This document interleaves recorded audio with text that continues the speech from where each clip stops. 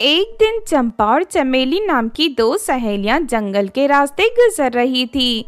तभी उन्हें एक इच्छाधारी नागिन दिखाई देती है। उस नागिन के पास सोने और चांदी से बने दो फ्रॉक मौजूद थे। साथ ही नागिन के सामने बहुत सारी गरीब बच्चे ज़मीन पर बैठे हुए थे। कहो, तुम सबको क्या चाहिए?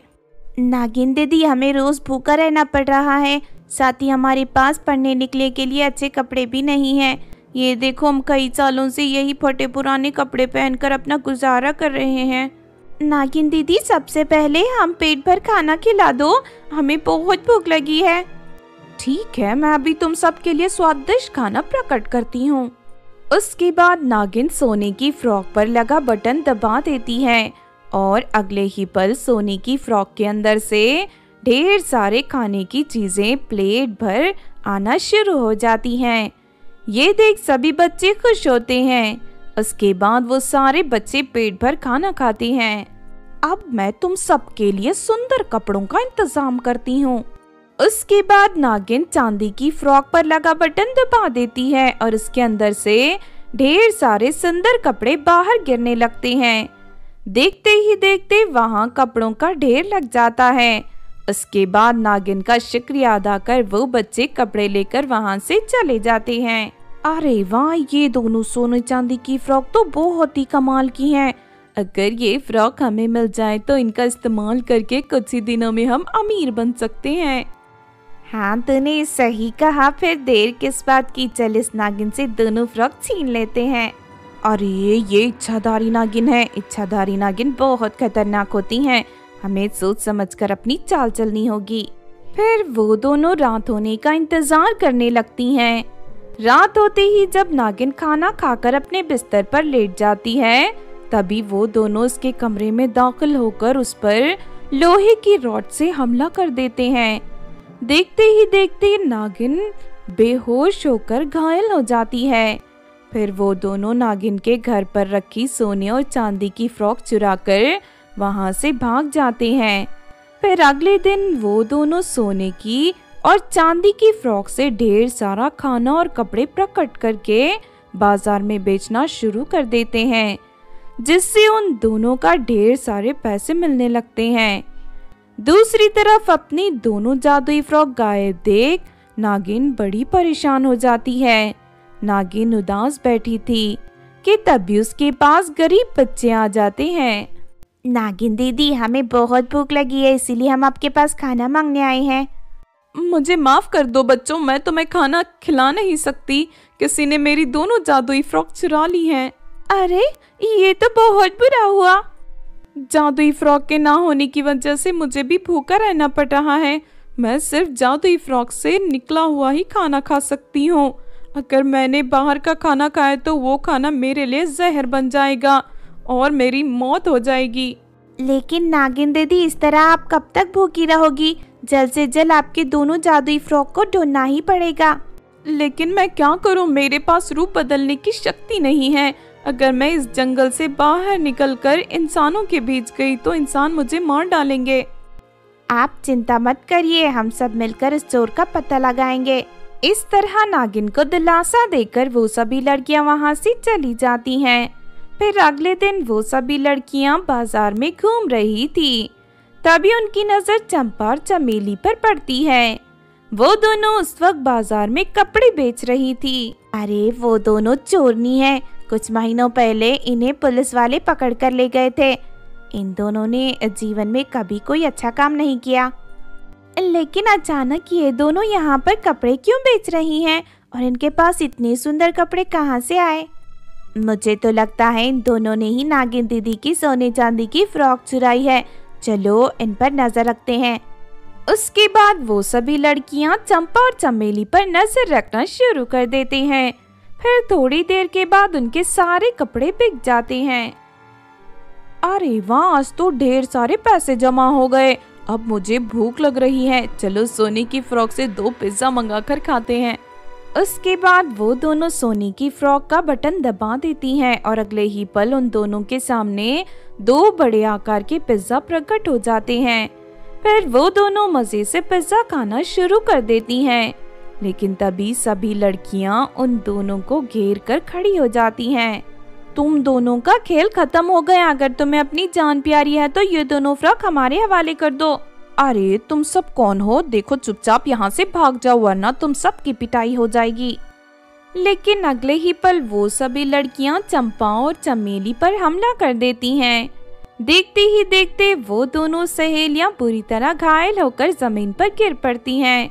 हाय, मर गई रे, मेरी कमर टूट गई, अरे, कोई बचाओ मुझे। अरे, ये लड़कियाँ बहुत खतरनाक है, चल अपनी जान बचाकर भाग यहाँ से। उसके बाद वो दोनों वहाँ से भाग निकलते हैं। फिर सभी लड़कियाँ सोने और चांदी की फ्रॉक ले जाकर नागिन को सौंप देते हैं। इस तरह सब कुछ ठीक हो जाता है और फिर नागिन और गरीब बच्चों की मदद करना शुरू कर देती है और खुशी से रहने लगती है। चंदापुर नाम के गाँव में विशाखा नाम की एक गरीब लड़की अपने माता पिता के साथ रहती थी। विशाखा के माता पिता दोनों मजदूरी करते थे। वो दोनों अपनी सारी कमाई विशाखा की पढ़ाई और उसके रहन सहन में खर्च कर देते थे। फिर एक दिन विशाखा बाज़ार में खरीदारी कर रही थी। तभी गायत्री नाम की एक औरत की नज़र विशाखा पर पड़ती है। गायत्री एक अमीर औरत थी। विशाखा की खूबसूरती देख गायत्री उस पर मोहित हो जाती है। सुनो बेटी, तुम बहुत सुंदर हो, तुम्हारा नाम क्या है और तुम कहाँ रहती हो?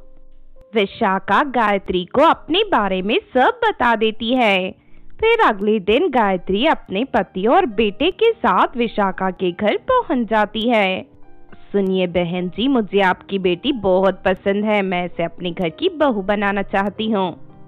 गायत्री की बात सुनकर विशाखा के माता पिता की खुशी का ठिकाना नहीं रहता। बहन जी, आप लोग इतने अमीर हो और हम गरीब मजदूर हैं। हम आपको दहेज नहीं दे पाएँगे। हमें दहेज नहीं चाहिए। हमें तो सिर्फ़ आपकी बेटी चाहिए। उसके बाद शादी की सारी बातें तय हो जाती है।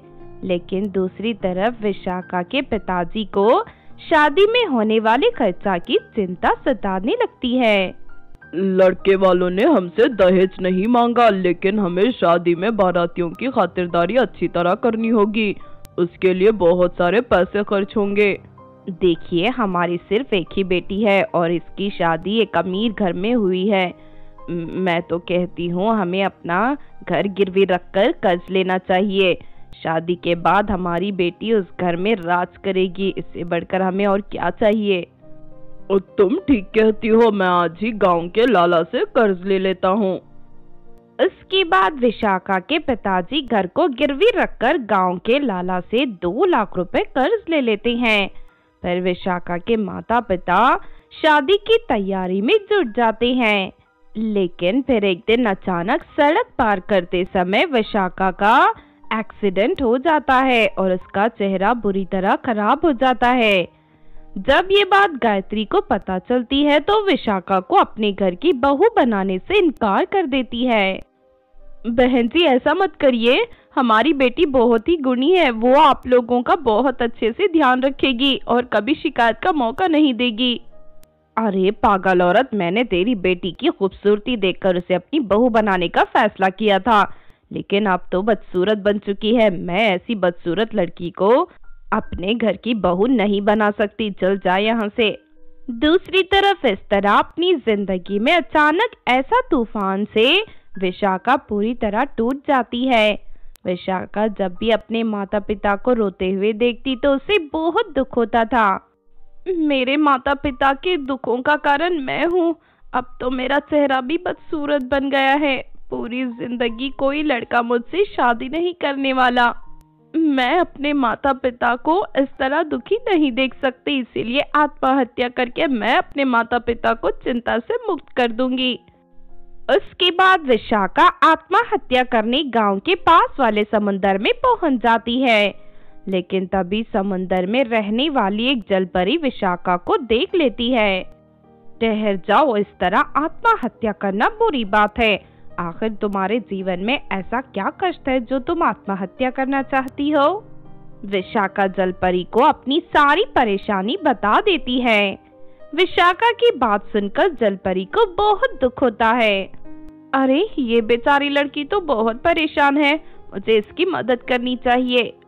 उसके बाद जलपरी अपने पास एक छोटा सा तीर कमान बाहर निकालकर आसमान की ओर तीर चला देती है। अगले ही पल समंदर के ऊपर एक बहुत बड़ा इंद्रधनुष तैयार हो जाता है। साथ ही वहाँ एक लंबी सीढ़ी भी प्रकट हो जाती है। अब तुम्हें सीढ़ी पर चढ़कर इंद्रधनुष पर चले जाओ। वहाँ तुम्हें मेरी दो परी सहेलियाँ रहती हैं। तुम उन दोनों से कहना कि मैंने तुम्हें भेजा है। फिर वो दोनों तुम्हारी सारी तकलीफें दूर कर देंगी। विशाखा फ़ौरन सीढ़ी पर चढ़कर इंद्रधनुष पर पहुँच जाती है। वहाँ मौजूद दोनों परियाँ उसे वहाँ आने का कारण पूछने लगती हैं। विशाखा दोनों को जलपरी के बारे में सब बता देती है। उसके बाद एक परी विशाखा को वहाँ मौजूद जादुई अंडे के अंदर बैठा देती है और अगले ही पल वो अंडा गोल गोल घूमने लगता है। थोड़ी ही देर में विशाखा राजकुमारियों की तरह खूबसूरत बन जाती है। अरे वाह, मैं तो बहुत ज़्यादा खूबसूरत बन गई। मुझे खूबसूरत बनाने के लिए आप दोनों का बहुत बहुत शुक्रिया। कोई बात नहीं, हम दोनों बहनें इसी तरह दुखी लोगों को दुख दूर करती हैं। ये लो, ये जादुई पर्स तुम अपने पास रखो। इस पर्स में मौजूद पैसे कभी खत्म नहीं होंगे। इस तरह वो दोनों परियाँ विशाखा की ज़िंदगी पूरी तरह बदल देती हैं। उसके बाद वो दोनों विशाखा को एक जादुई झाड़ू पर बैठाकर उसे उसके घर तक पहुँचा देती हैं। विशाखा की खूबसूरती देख उसके माता पिता दोनों खुशी से उछल पड़ते हैं फिर कुछ दिनों बाद विशाखा की शादी शहर के एक धनवान घर में हो जाती है उसके बाद विशाखा शादी करके अपने ससुराल चली जाती है और वहाँ खुशी से रहने लगती है। बहुत समय पहले परिदेश में सोनिया नाम की एक बहुत शक्तिशाली परी रहती थी। फिर एक दिन परी अपनी सभी जादुई कपड़े धोकर उन्हें सुखाने के लिए रस्सी के ऊपर टांग देती है। लेकिन दोपहर में अचानक वहाँ तेज तूफ़ान आ जाता है और उन कपड़ों के बीच टंगा जादुई गाउन तूफ़ान के साथ उड़ जाता है। फिर उड़ते उड़ते वो गाउन पृथ्वी के एक नदी के किनारे पहुँच जाता है। अरे वाह यहाँ का नज़ारा तो बहुत खूबसूरत है। आखिरकार मुझे उस परी से छुटकारा मिल ही गया। अब मैं अपने तरीके से अपनी ज़िंदगी जी लूँगा। फिर थोड़ी देर के बाद गाँव की कुछ गरीब लड़कियाँ नदी में पानी भरने आती हैं। तभी उनकी नज़र उस जादुई गाउन पर पड़ती है। गाउन को देख सभी लड़कियाँ आश्चर्य में पड़ जाती हैं। अरे, ये गाउन तो बहुत ही खूबसूरत है। आखिर ये यहाँ कैसे आया? और ये देखो, इस पर ढेर सारे चमकदार हीरे भी लगे हैं। ये हीरे तो बहुत ही कीमती लगते हैं। चलो, इस गाउन को उठाकर अपने गाँव ले चलते हैं। उसके बाद इस पर लगे हीरे बाज़ार में बेच देंगे, जिससे हमारी गरीबी दूर हो जाएगी। उसके बाद वो सभी लड़कियाँ गाउन को उठाने के लिए आगे बढ़ती हैं, लेकिन तभी अचानक वो गाउन एक विशाल गाउन के रूप में बदल जाता है। अच्छा तो तुम सब मुझे पकड़कर अपने साथ ले जाना चाहती हो। तुम सब गंदी लड़की हो, तुम्हारे पुराने कपड़ों से कितनी बदबू आ रही है, मुझसे दूर रहो। अरे, ये तो बात करने वाला जादुई गाउन है। सुनो जादुई गाउन, हम सब बहुत गरीब हैं। अगर तुम हमें एक एक हीरे दे दोगे तो हमारी गरीबी दूर हो जाएगी। दया करके हमें हीरे दे दो। लेकिन वो जादुई गाउन अपनी शक्ति से सभी लड़कियों के बालों में आग लगा देता है। देखते ही देखते सभी लड़कियों के बाल पूरी तरह जल जाते हैं और वो सभी गंजी बन जाती हैं। फिर वो सभी लड़कियाँ रोती हुई वहाँ से भाग निकलती हैं। उस दिन के बाद से जादुई गाउन उस नदी पर कब्जा कर लेता है जब भी कोई इस नदी में पानी भरने या मछली पकड़ने जाता तो जादुई गाउन उसे डराकर वहाँ से भगा देता था इस तरह घमंडी गाउन की वजह से सभी लोग बहुत परेशान हो गए थे, क्योंकि उस इलाके के ज़्यादातर लोग नदी से मछलियाँ पकड़कर अपना गुजारा करते थे। फिर एक दिन ये बात उस राज्य की राजकुमारी को पता चलती है। अपनी प्रजा का दुख राजकुमारी से देखा नहीं जाता और वो उस घमंडी गाउन को पकड़कर महल लाने का फैसला करती है। उसके बाद राजकुमारी अपनी सैनिकों के साथ उस गाउन को पकड़ने के लिए नदी किनारे पहुँच जाती है। मुझे पता चला है कि तू लोगों को परेशान कर रहा है। अब मैं तुझे नहीं छोड़ूँगी। मुझसे नहीं बच सकता तू। चलो सैनिकों इसको रस्सियों से बांधकर महल ले चलो। मुझसे इस तरह बदतमीजी से बात करने की तुझे हिम्मत कैसे ही मुझे बहुत गुस्सा आया है। राजकुमारी अब मैं तुझे नहीं छोड़ूँगा। उसके बाद जादुई गाउन अपनी शक्ति से वहाँ मौजूद सभी सैनिकों को रस्सी से बाँध देता है और उन्हें हवा में उड़ाकर नदी में फेंक देता है। और देख राजकुमारी मैंने तेरी सारी सैनिकों को नदी में फेंक दिया। अगर अब तू अपने आप को बचाना चाहती है तो ज़मीन पर घुटने टेक दे और नाक रगड़ कर मुझसे माफ़ी मांग तभी मैं तुझे माफ़ करूँगा। लेकिन राजकुमारी अपनी तलवार निकालकर उस जादुई गाउन पर हमला करने के लिए आगे बढ़ती है। तभी जादुई गाउन राजकुमारी की तलवार को अपने वश में कर लेता है। पर जादुई गाउन राजकुमारी की तलवार से उसके दोनों हाथों को काट देता है। अरे नहीं ये क्या हो गया? इसने तो मेरे दोनों हाथ काट दिए अब मैं क्या करूँ? और ठहर जा अब मैं तेरा सर भी काट दूँगा। लेकिन तभी अचानक वहाँ सोनिया परी आ जाती है। सोनिया परी उसी वक्त अपनी जादुई छड़ी घुमाकर जादुई गाउन के ऊपर आग लगा देती है। अरे, मर गया रे मेरी मालकिन कहाँ से आ गई? अरे, कोई बचाओ मुझे। अरे, कोई इस आग को बुझाओ। फिर देखते ही देखते वो गाउन पूरी तरह जलकर राख के ढेर में बदल जाता है। उसके बाद सोनिया परी राजकुमारी के कटे हुए हाथों को फिर से उनके शरीर में जोड़ देती है। उसके बाद परी हवा में उड़ते हुए पास के गाँव पहुँच जाती है और वहाँ मौजूद सभी गंजी लड़कियों के सर पर सुंदर बाल प्रकट कर देती है। साथ ही उन सभी को ढेर सारे सोने के सिक्के देकर वापस परिदेश चली जाती है। इस तरह उस घमंडी गाउन को उसके किए की सजा मिल जाती है। दूसरी तरफ़ सभी गरीब लड़कियाँ अमीर बनकर एक खुशहाल जीवन जीने लगती हैं।